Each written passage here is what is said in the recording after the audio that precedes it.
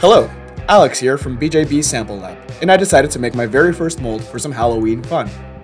I sprayed the piece with Zip Mold Release, poured a thin print coat of degassed TC5130 fast silicone, and brushed it thoroughly to cover all crevices. Once that cured, I added more silicone that's been dyed and made easily brushable with Fiberthick silicone thickener. I then built a box around the project and poured in a dyed, degassed batch of TC5130 until the piece was covered.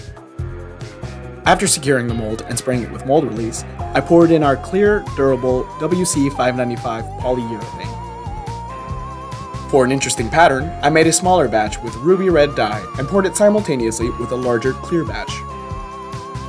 Moving on, I added violet pigment to our rigid TC804 system, poured slowly to avoid air bubbles, and filled the mold for a solid, durable casting.